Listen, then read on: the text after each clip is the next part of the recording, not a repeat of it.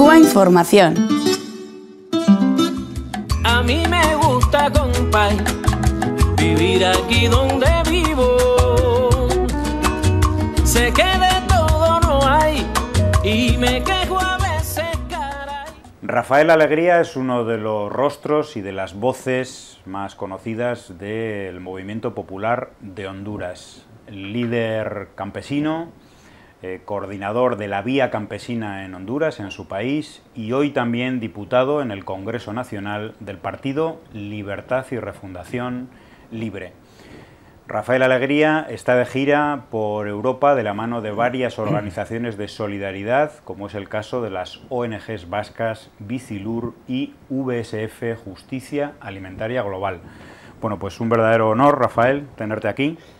Muchas gracias, eh, el honor es para mí compartir en este programa tan visto, uh, tan solidario con nuestros pueblos y bueno, estamos eh, contentos de acompañar en este programa a usted y a los que nos ven. Uh -huh.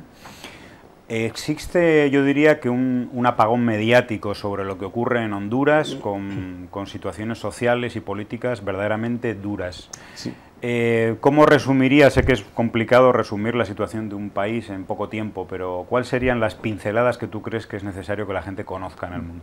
Bueno, ese bajón mediático es premeditado, planificado por los grupos de poder, por los grupos oligárquicos, por los mismos intereses extrarregionales como los Estados Unidos, que no les interesa que el mundo sepa lo que estamos viviendo en Honduras. Eh, ya el golpe de Estado del 28 de junio constituyó una, un verdadero desastre para la democracia en el país y después de ese golpe de Estado hemos venido viviendo situaciones dramáticas, económicas, sociales y políticas.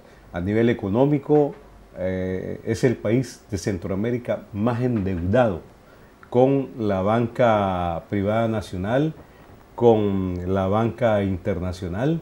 Llegamos hasta 13 mil millones de dólares el presupuesto del 2015, para que tenga una idea, eh, va a ser para pagar la deuda el 50% y el otro 50% para pagar la, la burocracia estatal.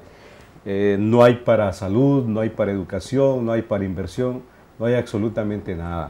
En el país lo que hoy tenemos lamentablemente es una violencia que la ONU ha declarado como el país más peligroso del mundo, eh, más corrupto del mundo y más empobrecido del mundo. O sea que estos cinco años de golpe de Estado, ahora el país manejado por estos grupos de poder oligárquico, realmente eh, lo han hundido en la miseria, eh, en la, eh, la antidemocracia y en la represión abierta. Así es que en Honduras esto no se conoce porque lo esconden, ¿verdad? Los grandes medios de comunicación, hablados, escritos, televisados, porque pertenecen eh, a los mismos grupos de poder.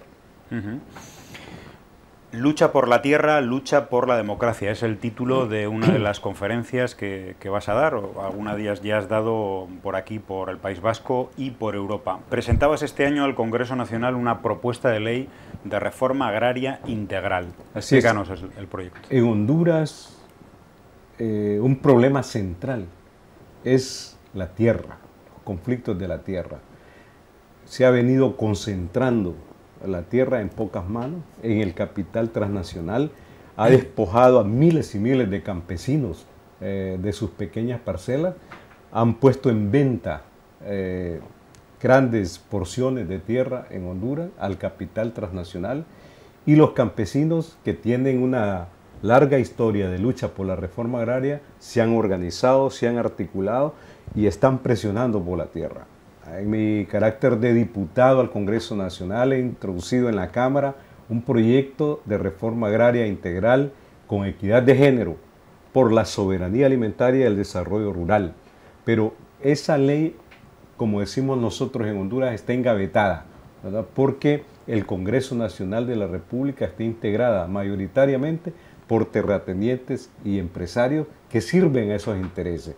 Y bueno, al estar desinteresados por resolver esta, esta problemática, eh, vienen serios conflictos. Los campesinos presionando, exigiendo, eh, tomando pacíficamente la tierra, pero la respuesta de los terratenientes y del Estado es la represión.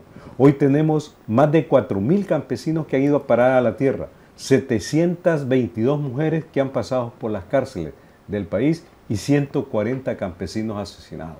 La última fue una dirigente hace tres meses, Margarita Murillo, fundadora de la Vía Campesina y de la CNTC, que la fueron a asesinar a su parcela, una compañera luchadora eh, por la tierra. Así es que mm, eh, es un grave problema que tenemos, la desigualdad y el acaparamiento de la tierra por empresas inclusive transnacionales que eh, fomentan, y el Estado en eso está interesado, el monocultivo, la palma africana, los bananos y la caña de azúcar, todos en poder de grupos de poder y de empresas transnacionales. ¿Y cómo, está el, cómo es el momento que vive ahora el movimiento popular en Honduras y en sus diferentes manifestaciones y expresiones y también el momento que vive la formación política eh, libre? De, después del golpe de Estado o inmediatamente del golpe de Estado, que el pueblo rechazó contundentemente, el 28 de junio del 2009 contra José Manuel Zelaya Rosales, se creó un gran movimiento de resistencia popular. Se formó el Frente Nacional de Resistencia Popular y posteriormente creamos el Partido Libertad y Refundación Libre. Fuimos a las elecciones del año pasado, ganamos las elecciones, pero el aparato institucional, Tribunal Supremo Electoral, Corte Suprema de Justicia, Ministerio Público, Policía, todo en poder del Partido Nacional, el partido de la oligarquía, y le dio el triunfo a Juan Orlando Hernández, al Partido, al partido Nacional. Pero los resultados fueron contundentes, más de un millón de votos del Partido eh, Libre, y nos preparamos de manera contundente para el próximo periodo. Por supuesto que estamos luchando por desmontar esa estructura antidemocrática que hay en el país de estas instituciones eh, bajo el control de, estos partidos tradicionales. En eso nos acompaña el pueblo hondureño. Pero eh, somos blanco de la represión, tanto el Frente Nacional de Resistencia como el Partido Libre. Y uno de los actores golpeados es el magisterio, que lo tienen doblegado a punta de garrote y metralla a los campesinos asesinándolo, al movimiento sindical, el Código del Trabajo desarticulado no hay ya derecho a la huelga ni a la contratación colectiva. O sea que vivimos una represión institucional espantosa, pero aún así el pueblo resiste, el pueblo lucha y tenemos la plena confianza que vamos a vencer. y, si, y si la izquierda venciera en un futuro próximo, eh, estaríamos hablando, por ejemplo, de la reincorporación de Honduras a estructuras de, cambio social y de integración latinoamericana como el ALBA. Absolutamente. Honduras ya fue parte del ALBA y eh, derogaron el, decreto, eh, el golpismo. Honduras tiene un legado histórico de Francisco Morazán Quesada, un héroe integracionista, luchador por la paz. Y un principio fundamental del libre es la integración, es la solidaridad, es la unidad. Y nuestros héroes soñaron con la patria grande latinoamericana. Eh, por eso Honduras se integró al ALBA, con otros países eh, latinoamericanos. Excelentes relaciones con Chávez, con Evo Morales. Bueno, y un gran reconocimiento a Cuba, ¿verdad? porque hoy los avances que tenemos en América Latina precisamente se debe a esa resistencia histórica del pueblo cubano, a esa defensa de la dignidad eh, del heroísmo cubano, y no hay duda que Honduras será parte de estos procesos integracionistas de América Latina y el Caribe. Centroamérica, por supuesto que le integramos seis países, luchamos por ello. Está dentro de nuestros diarios y de nuestra lucha esa integración, la paz y la solidaridad estáis denunciando la criminalización de una buena parte de la sociedad civil hondureña. Eh, esta criminalización alcanza niveles especialmente preocupantes en, todos aquellos grupos colectivos que luchan contra las zonas de empleo y desarrollo económico, las CEDES. ¿Qué son estas zonas y por qué esa lucha? Quiero decirle que organismos defensores de derechos humanos han contabilizado y llevan eh, registros en cuatro años, cinco años, de gobierno del Partido Nacional, han asesinado 30.000 personas. Esa es una, eh, una tragedia de todos los sectores. La última fue una Miss eh, Honduras, Miss Universo, o sea, la violencia llega a todos los estratos de la sociedad hondureña. Y estamos temiendo que se va a profundizar esa, esa represión, porque el gobierno anterior eh, emitió una ley de las zonas especiales de desarrollo, zonas de empleo, dicen ellos, que consiste a entregar territorios, territorios completos al capital transnacional.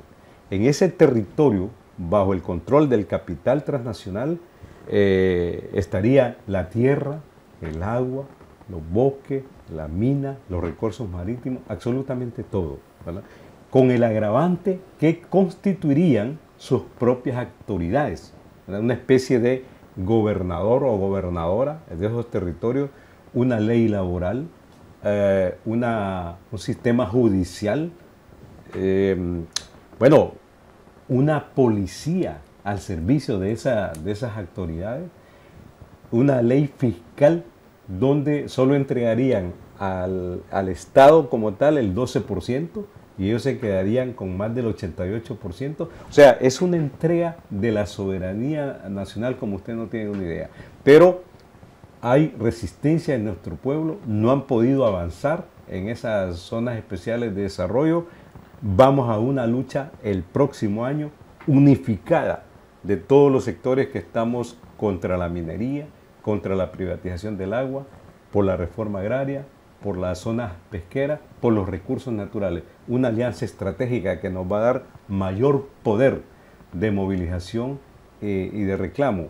Rafael Alegría, eh, líder del Movimiento Popular de Honduras, también diputado ahora. Eh, muchísimas gracias, un honor haberte tenido en nuestro, en nuestro humilde estudio y mucha suerte en vuestra lucha. Bueno, a usted nuestro saludo al pueblo cubano, al pueblo latinoamericano, a la unidad internacional, a la solidaridad entre los pueblos. Eh, mi presencia aquí es para eso, para poner a Honduras en, el debate internacional, llamar a la solidaridad con nuestro país y con los eh, hermanos pueblos eh, de América Latina.